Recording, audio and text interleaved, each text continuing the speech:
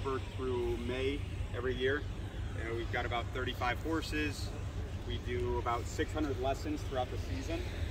And we also operate tournaments, everything like that. We have horses for lease, sale, everything.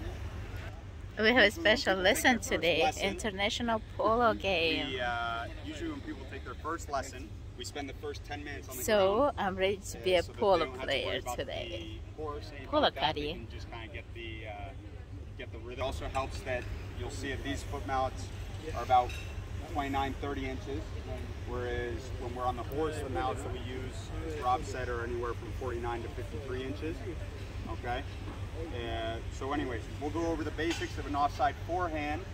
Uh, I'm going to show you guys the different parts of the mallet, how we hit the ball, and then uh, we'll go from there. All right. So, first things first. First things first. There's uh, four parts to the mallet. There's one There's the sling You want me to take here. it? You want- you want to- Let me exercise. Okay, we got we got one I was wondering over that you guys have this strap. Yep, here's, uh, here's, Thank you. you have There you go. Make sure you guys have plenty of room between you. I don't want anyone